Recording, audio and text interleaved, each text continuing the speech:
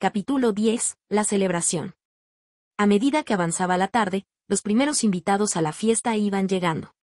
Entre ellos, estaban los amigos de Vanessa, así como sus familiares, incluyendo a Hank, el hermano mayor de Vanessa. Al notar que las invitadas no habían salido de sus habitaciones, decidió buscarlas y ofrecerles pasar la tarde en la playa, con música y bebidas.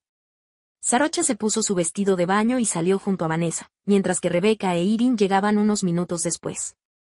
En ese momento, Rebeca finalmente tuvo la oportunidad de saludar a Vanessa y presentarle a Irin. Justo cuando Rebeca estaba a punto de indicar quién era, Vanessa la interrumpió diciendo. Es un gusto conocer a tu novia. Irin estrechó la mano de Vanessa, y le dijo que el gusto era de ella, mientras que Rebeca se quedó sin poder decir nada ante tal afirmación inesperada. La sorpresa se notaba en el rostro de Rebeca, quien no había tenido la oportunidad de hablar. Irin, por su parte, se mostraba tranquila y segura de sí misma, feliz con la presentación. Rebeca intentó recuperar la compostura y aclarar la situación, pero se encontró tartamudeando, y sin encontrar las palabras adecuadas. La situación la había tomado por absoluta sorpresa. Finalmente, logró solo esbozar una sonrisa, no quería borrar la sonrisa de Irin. Rebeca, por otro lado, se sintió incómoda durante el resto de la tarde, y no pudo evitar preguntarse, ¿por qué había dejado que asumieran que eran novias? Sarocha se quedó atónita al escuchar lo que acababan de decir, estaba confirmando lo que había escuchado en el jet.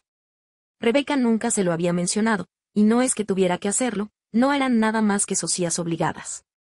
Sin embargo, en el fondo, Sarocha sentía una punzada de incomodidad que no sabía cómo explicar. Al llegar a la playa, fue inevitable que las miradas de Sarocha y Rebeca se cruzaran, admirando lo radiante y sexy que era cada una. Durante la tarde, la tensión entre Rebeca y Sarocha era innegable.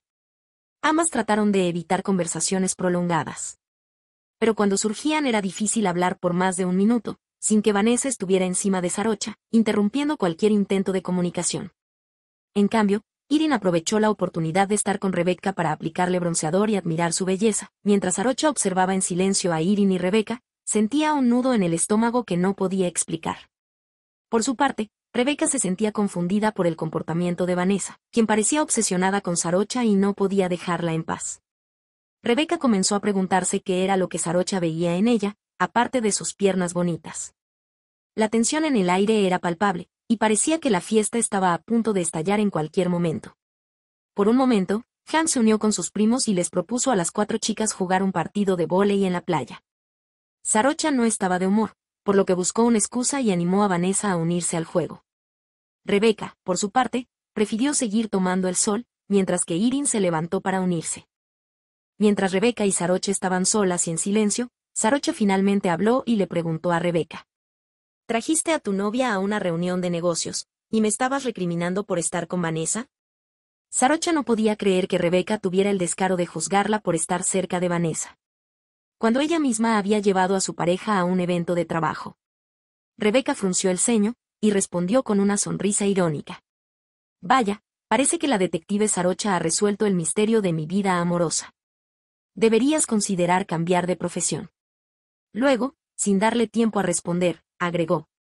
Pero si quieres hablar en serio, te aseguro que mi relación con Irin no tiene nada que ver con lo que está sucediendo aquí. Vanessa sigue siendo insoportable, y la hija de nuestro mayor inversionista, así que no afecta con quien esté saliendo yo. Pero lo que hagas tú sí nos afecta a todos. Sarocha se cruzó de brazos y respondió con una risa irónica. Oh, Rebeca, no sabes cuánto me divierte tu sarcasmo. Supongo que tienes razón, debería considerar un cambio de carrera, para convertirme en la detective privada de tu vida amorosa. Y así averiguar cómo Irin puede soportarte, Debe ser una especie de amor masoquista. Rebeca levantó las cejas con una mirada de desdén, y respondió con una sonrisa burlona. Oh, Sarocha, no sabía que te preocupabas tanto por mi relación. No te preocupes por mí, seguiré disfrutando del sol, y tú ve a consentirle los berrinches a tu noviecita. Además, si quieres saber más sobre Irin y yo, te invito a que hables con ella en persona. Quizás te sorprendas de lo bien que nos llevamos, soltando una sonrisa pícara. Luego, con un tono más sarcástico, añadió. Pero entiendo que para ti sea difícil de entender, ya que nunca has estado en una relación que dure más de dos semanas. Sarocha soltó una risa irónica y le respondió. Oh, Rebeca, no tienes idea de cuánto me preocupo por ti. Quiero asegurarme de que tu novia no interfiere en tu habilidad para hacer negocios. Y respecto a mi relación con Vanessa. ¿No te gustaría tener una como la nuestra, con una sonrisa de medio lado? Pero claro, no todos pueden manejar una relación así, especialmente cuando están ocupados persiguiendo a la próxima víctima. Luego se dio media vuelta y añadió con una sonrisa burlona. Pero gracias por la invitación para conocer a tu novia, lo tendré en cuenta. Ahora, si me disculpas, tengo cosas más importantes que hacer que hablar contigo. Rebeca encontraba a Sarocha insoportable, y no podía dejar de pensar en ello. Cada vez que intercambiaban más de dos palabras, la situación terminaba en discusión. Para ella, era imposible tener un momento de tranquilidad con esa mujer. Por otro lado, Sarocha solo podía pensar en cuando acabaría el fin de semana.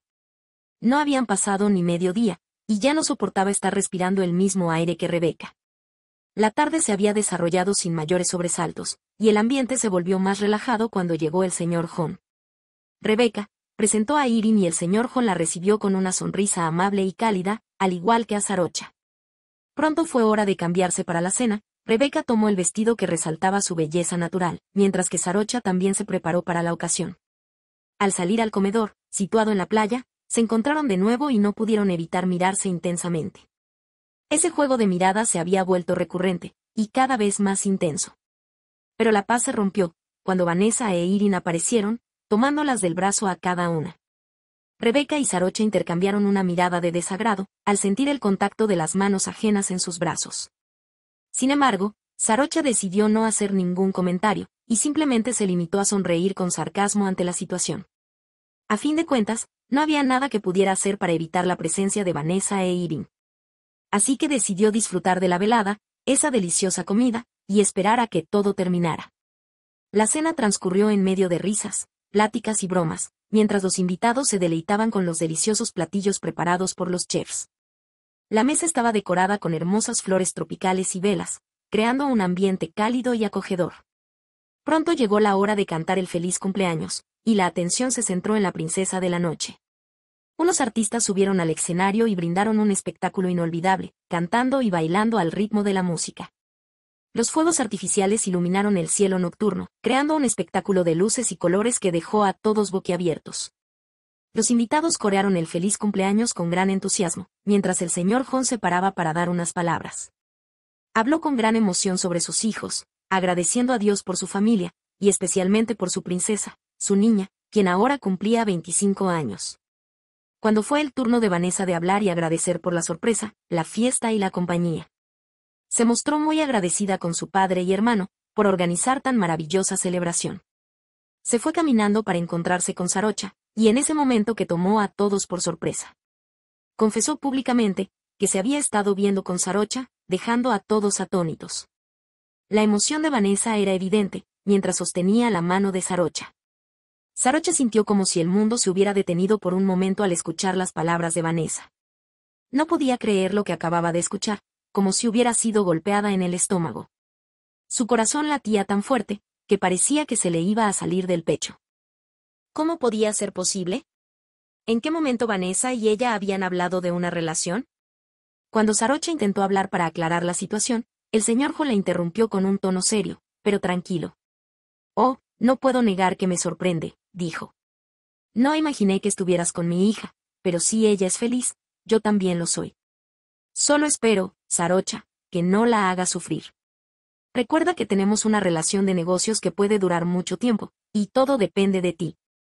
Sarocha estaba sumida en un mar de pensamientos, no podía creer que se había dejado llevar por la tentación. Y no había notado lo que quería esa niña de 25 años, ella una mujer experimentada no había caído en cuenta de lo que Vanessa buscaba. ¿Cómo explicarle al señor John la verdadera naturaleza de su relación con su hija? Sabía que cualquier cosa que dijera podría poner en peligro su relación comercial con él. Por un lado, sentía que tenía que ser honesta y contar la verdad, pero por otro. Temía que el señor John reaccionara mal y su negocio se viera afectado y darle la razón a Rebecca Armstrong. Todo parecía haberse complicado demasiado y Sarocha se sentía atrapada, en una situación que ella misma había creado. Suspiró profundamente y se prometió a sí misma que tendría que encontrar una forma de salir de ese lío sin afectar a nadie. Hablaría con Vanessa para que ella misma le aclarara a su padre la situación, sin embargo, sabía que no sería fácil. Rebeca se encontraba en shock, no podía creer lo que estaba viendo. La situación era surrealista, pero al mismo tiempo era una bomba de tiempo, que podía estallar en cualquier momento, y hacer explotar todo el negocio del señor Hon. ¿Cómo es posible que Sarocha no haya visto las señales? ¿Cómo pudo dejarse llevar por los caprichos de una niña de 25 años? Rebeca sabía que la situación era peligrosa, no solo para la relación comercial con el señor Hon, sino también para Sarocha, como podía es haberse dejado engatusar por esa niñita, y comportarse como una adolescente en celo. Rebeca se acercó a Sarocha, y le pidió que hablaran un momento, no podía ocultar su enojo y frustración, mientras le hablaba a Sarocha en un tono severo. Le parecía increíble, que después de haberle advertido varias veces, sobre los peligros de mezclar sus relaciones personales con los negocios. Sarocha hubiera caído en la trampa de la joven princesa. La ira de Rebeca se reflejaba en sus ojos, su voz resonaba en el lugar, haciendo eco en la mente de Sarocha. Sarocha intentó justificarse, diciendo que no era su novia, que solo era una relación casual. Pero Rebeca no parecía dispuesta a escuchar ninguna explicación, dio la vuelta y la dejó hablando sola, y volvió con Irin. Sarocha llamó aparte a Vanessa, ésta intentó abrazarla, a lo cual se hizo presente un rechazo. La situación se le había ido de las manos, y ahora tendría que enfrentar las consecuencias de sus actos con voz fría y decidida, le exigió una explicación, por haber declarado públicamente algo que no era verdad.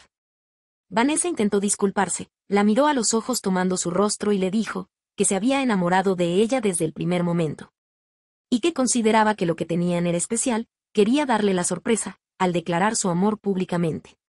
Pero Sarocha no quería oír excusas, le dejó claro que lo que ella llamaba relación no existía. Y que ella no había dado su consentimiento para hacer público nada. Además, que su declaración podría poner en peligro su relación comercial con su padre. Vanessa cambió su semblante, y sencillamente le indicó que hablaría con su padre, pero que le diera tiempo. Por el momento tendrían que seguir actuando como una pareja delante de todos. Al final era su cumpleaños y no pasaría una vergüenza pública, a lo que Sarocha no tuvo más que acceder. El resto de la noche transcurrió con los demás invitados disfrutando la fiesta, pero se sentía una leve tensión en el aire. Sumándole también lo que era una noche fresca y despejada, se formaba en el horizonte una tormenta. Capítulo 11. La tormenta. La música seguía sonando, y la fiesta continuaba. Algunos invitados se veían un poco más animados, gracias al efecto de licor que habían consumido, mientras que otros se mantenían en una actitud más tranquila.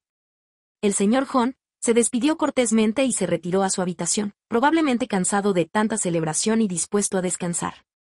Mientras tanto, Cham, el hermano de Vanessa se veía muy entretenido con una amiga que había llevado a la fiesta. Ambos parecían disfrutar de la música y el ambiente festivo, sin prestar mucha atención a lo que sucedía alrededor. Rebeca se alejó un poco del grupo y se dirigió hacia una esquina, donde tomó un vaso de whisky doble. El licor la fue relajando poco a poco, y le permitió dejar de pensar en la situación tensa que había ocurrido con Sarocha y Vanessa. En ese momento, vio a Irin acercarse y sentarse a su lado.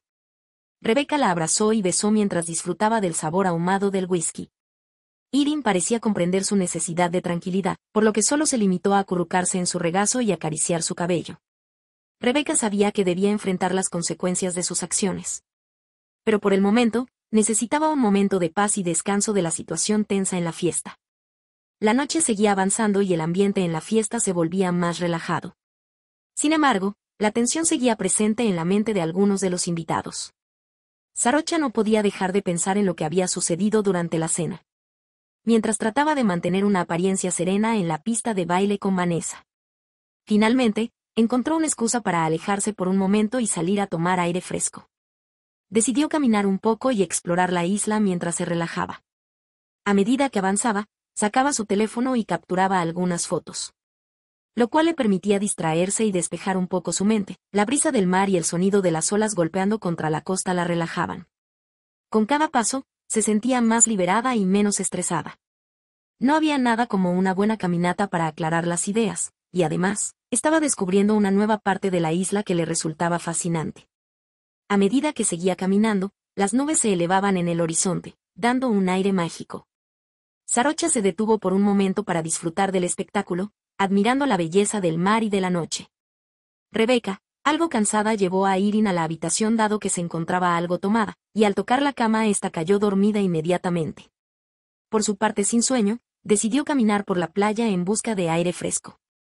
Mientras paseaba, su mente divagaba en todo lo que había sucedido esa noche, especialmente en la discusión con Sarocha. Finalmente, Rebeca llegó a una parte de la isla, en la cual había una vista impresionante, respiró profundamente, tratando de aclarar su mente.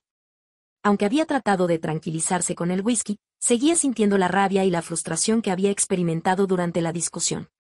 Mientras se encontraba ahí, pudo ver en la distancia unas luces. Y acercándose a ellas, se encontró con Sarocha caminando por la playa y sacando fotos con su teléfono. Sarocha estaba absorta tomando las fotografías, que más podía hacer a esa hora, no era el mejor horario para tomarlas, pero la relajaba. Así que siguió adentrándose en la isla sin darse cuenta. Cuando Rebeca se encontró con Sarocha, solo atinó a decir. Chanquima, es en serio, tengo que encontrarte hasta en la sopa. A lo que Sarocha respondió, eres tú la que me está siguiendo, Armstrong. Yo no te estoy siguiendo, me he retirado de la fiesta precisamente para despejarme y no tener que verte.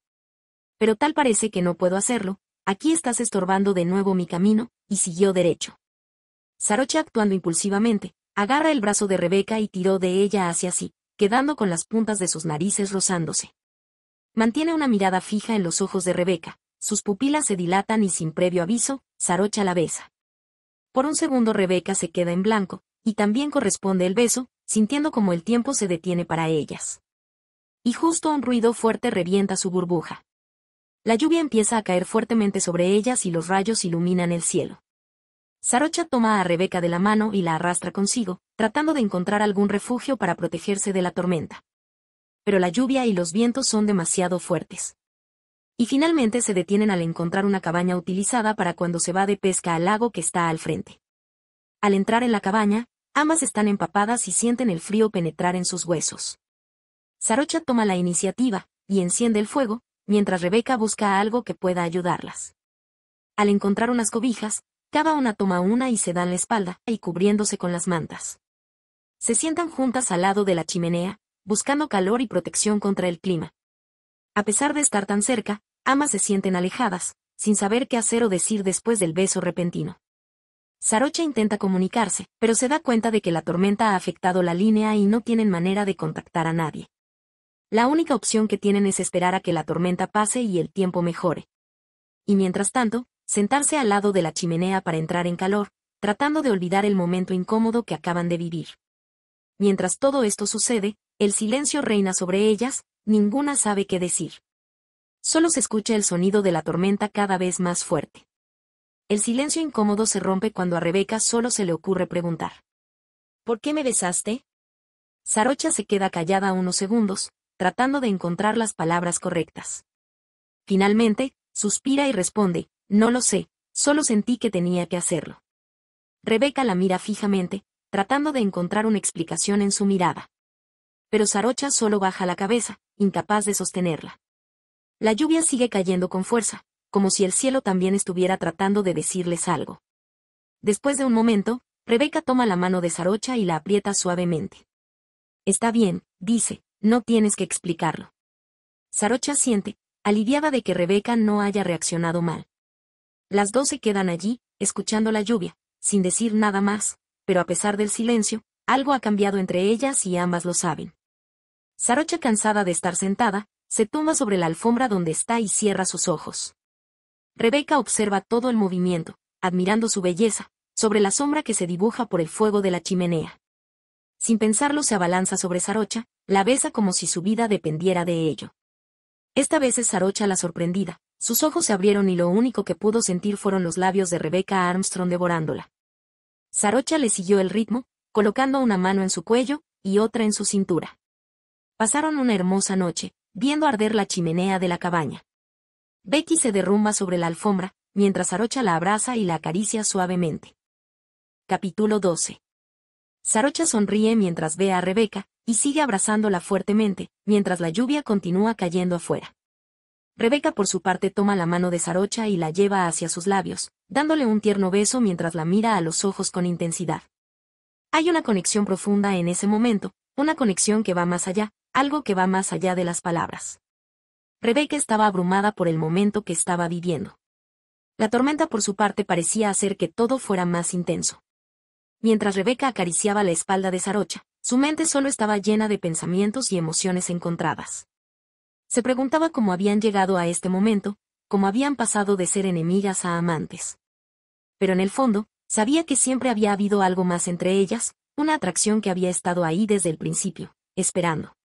Afuera los rayos iluminaban la isla y el sonido de los truenos resonaba por toda la cabaña. La lluvia seguía golpeando con fuerza, pero Sarocha y Rebeca se encontraban en un mundo propio, en el que solo importaban ellas. Durante de unos segundos las dos mujeres se miraron con pasión y complicidad. El silencio se volvió cómplice de esa noche, las dos seguían abrazadas, pero no se escuchaba más que la lluvia. Tal vez no era el momento de decir nada. Después de un rato, Rebeca rompió el silencio, hablando en un susurro mientras acariciaba el cabello de Sarocha. No sé qué decir, esto es todo tan inesperado. Sarocha sonrió dulcemente y acercó su mano a la mejilla de Rebeca, acariciándola suavemente. No necesitamos decir nada, Rebeca, susurró. Sarocha estaba igual de abrumada que Rebeca, tratando de comprender lo que había sucedido entre ellas. Pero una cosa era clara, lo que había experimentado había sido una conexión verdaderamente única. La forma en que Rebeca la había besado, como un fuego ardiente que encendía todo su ser. Sarocha se sentía perdida en un mar de emociones, como si hubiera descubierto un tesoro oculto. Poco a poco Rebeca y Sarocha se fueron durmiendo abrazadas, escuchando el sonido de la lluvia y el crujir del fuego en la chimenea. Cuando la rubia abrió los ojos y se encontró con Sarocha a su lado, la tormenta había pasado y la tenue luz del amanecer entraba por la ventana. Recordó la noche anterior y su cuerpo se estremeció de nuevo. Pero el momento fue interrumpido por un ladrido lejano. Rebeca se asustó y gritó. Chanquima, nos quedamos dormidas, mientras se paraba rápidamente. Sarocha, todavía adormilada, intentaba ubicarse en el momento y preguntó qué había pasado. Rebeca explicó que probablemente las estarían buscando, lo que hizo que Chanquima saltara. Mientras cada una se alistaba, sus miradas se encontraron, se podía sentir como el rubor se hacía en las mejillas de las dos. La noche anterior, Vanessa se había dado cuenta de que Sarocha no estaba por ningún lado, y cuando se encontró con Irving, esta le indicó que había salido a buscar a Rebeca, dado que no estaba en su habitación. Cuando intentaron buscarlas, la tormenta la sorprendió, Vanessa preocupada despertó a su padre, y éste les dice que tendrían que esperar a que la tormenta pase. Finalmente, cuando ésta amainó, el señor Juan y algunos trabajadores emprendieron el camino en la isla, para buscar a Sarocha y Rebeca. Vanessa e Irin se ofrecieron a acompañarlos y mientras gritaban sus nombres, vieron la cabaña y a las dos mujeres saliendo de ella. Irin inmediatamente se abalanzó sobre Rebeca y le robó un suave beso. Mientras Vanessa gritó mi amor. Y corrió a los brazos de Sarocha, las dos solo hablaban de lo preocupadas que estaban. El señor Hall les preguntó qué había sucedido mientras las dos mujeres intercambiaban una mirada cómplice, insegura sobre qué decir. Finalmente, Rebeca rompió el silencio e indicó que estaban discutiendo algunas partes del proyecto mientras caminaban, y la tormenta los sorprendió. Viéndose obligadas a refugiarse en la cabaña. Vanessa e Irin conversaban aliviadas de haber encontrado a sus parejas sanas y salvas. Abrazándose sin querer separarse de ellas y a medida que caminaban de regreso a la casa en la playa. Rebeca y Sarocha intercambiaron una mirada, sabiendo que tarde o temprano tendrían que enfrentar las consecuencias de su beso. Capítulo 13. ¿Hay calma después de la tormenta? Después de regresar a la casa de la playa, el grupo se reunió en la sala principal para hablar sobre lo sucedido. Sin embargo, Rebeca indicó que estaba muy agotada, y quería descansar. Sarocha por su parte hizo lo mismo, y cada una tomó rumbo a su habitación. Antes de que se separaran, el señor John les recordó que se reunirían en el estudio esa noche, para organizar los temas pendientes. Y discutir los puntos que ellas tenían para presentar. Irin y Vanessa siguieron a sus respectivas parejas. Sarocha ingresó a su habitación, e inmediatamente se metió en la ducha mientras pasaban por su mente los flashbacks de la noche anterior. Ahora, más calmada, solo podía preguntarse por qué se dejó llevar y con Rebeca. ¿Qué le impulsó a eso? Reconocía que Rebeca era una mujer muy bella, siempre lo había considerado así para sus adentros. Nunca lo hubiera reconocido a nadie más. Pero no imaginó que ese sentimiento de odio se convertiría en una pasión tan desbordada. Estaba tan metida en sus pensamientos que no se dio cuenta que estaba demorando más de lo debido, hasta que una voz la sacó de ellos. Era Vanessa, quien preguntó si Sarocha estaba bien y si necesitaba ayuda. Vanessa abrió la puerta y entró. Sarocha detuvo a Vanessa, le dijo que se sentía mareada y necesitaba dormir. Salió del baño, dejando a Vanessa sorprendida y confundida. Vanessa le preguntó. ¿Qué pasa, Sarocha? ¿Sabes lo preocupada que estaba por ti cuando me di cuenta de que no estabas y luego llegó la tormenta? Ahora me acerco a ti para cuidarte y me rechazas de esa manera. ¿Quién te crees que eres? Vanessa estaba visiblemente enojada. Sarocha no tenía ánimo para discutir, así que se levantó, la miró a los ojos y le dijo. Recuerda que tú y yo no somos nada. Mejor piensa en cómo vas a sacarme de este lío que has creado frente a tu padre. No tengo ánimo para aguantar los caprichos de una niña mimada. Luego se tumbó en la cama y se cubrió para dormir, dejando a Vanessa frustrada y saliendo de la habitación enojada. Rebeca, por otro lado, hacía lo mismo, estaba en la ducha, pensando en cómo se había pasado la noche con Sarocha. Se preguntaba por qué, en lugar de pelear. Después de salir de la ducha, Irin le esperaba con una mirada confundida. Rebeca evitaba mirarla a los ojos, sintiendo que podía delatarse en cualquier momento. Y sin saber cómo procesar lo que había sucedido la noche anterior en la cabaña. Irin rompió el silencio y le preguntó qué había pasado. A lo que Rebeca le respondió, que habían estado hablando de negocios mientras caminaban, y que la tormenta la sorprendió. Por lo que tuvieron que refugiarse en la cabaña. Sin embargo, Irin le tenía una mirada de duda e inquisitivamente, le preguntó en un tono aireado. Como terminas en una cabaña con alguien que supuestamente odias, merezco saber la verdad, Rebeca, dime qué pasó. A lo que Rebeca solo le respondió que no había pasado nada, como podía pensar en algo así, déjame en paz, estoy cansada y quiero dormir. Irin salió del cuarto molesta, sentía que había algo más, y necesitaba averiguarlo. Conocía a Rebeca hace mucho tiempo como para no saber que le ocultaba algo. Durante todo el día, ninguna de las dos salió de la habitación. Entre pensamientos, y la dificultad para dormir, se acercaba la hora de reunirse con el señor John. Finalmente, ambas se levantaron y se arreglaron lo mejor que pudieron, antes de encontrarse en la oficina del inversionista. Hola, Armstrong, dijo Sarocha asustando a Rebeca, quien estaba observando una pintura en el estudio. Chanquima, respondió Rebeca.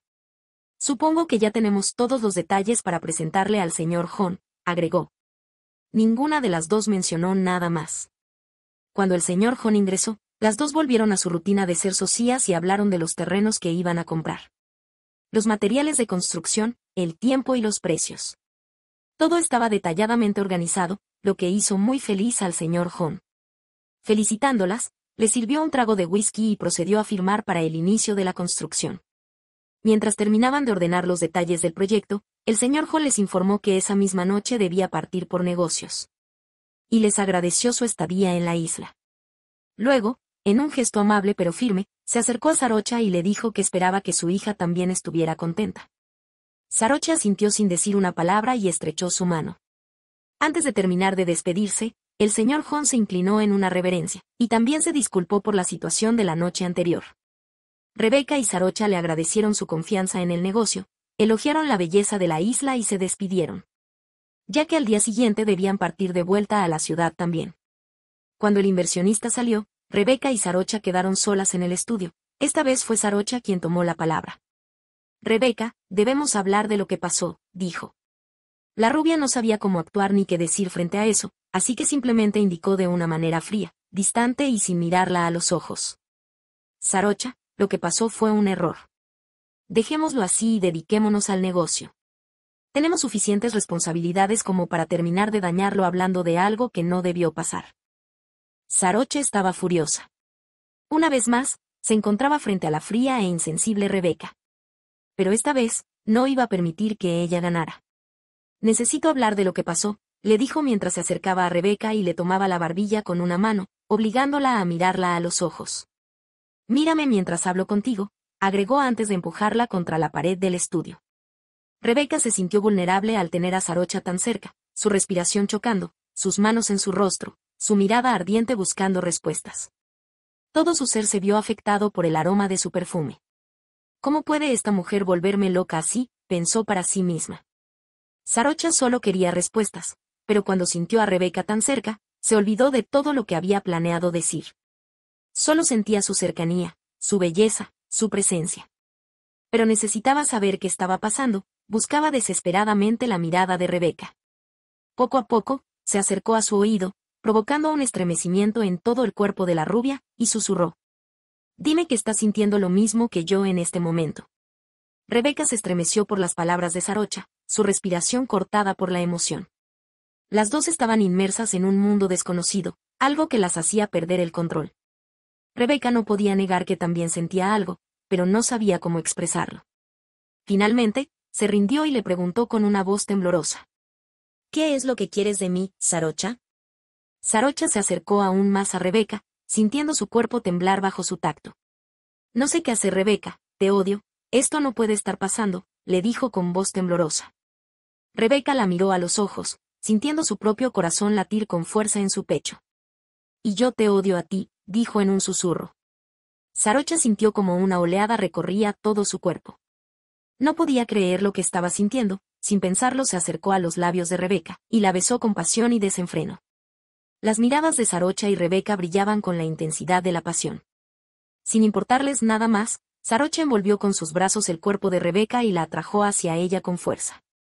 Luego de un rato Sarocha, quien acariciaba su cabello, cuando Rebeca intentó alejarse, Sarocha la detuvo de nuevo con su mano en la cintura. Y la besó con más pasión y deseo que antes. Rebeca se resistió al principio, pero su cuerpo no podía ignorar los besos de Sarocha. Finalmente, Rebeca se separó de ella, sabiendo que estaban arriesgándose demasiado al estar allí. Chankima alguien podría entrar en cualquier momento. No podemos seguir así, dijo Rebeca. Debemos parar.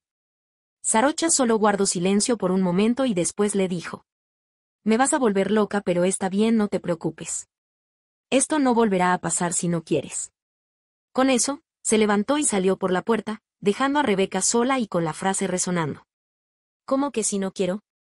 ¿Acaso Sarocha quiere seguir? Rebeca se sentía frustrada.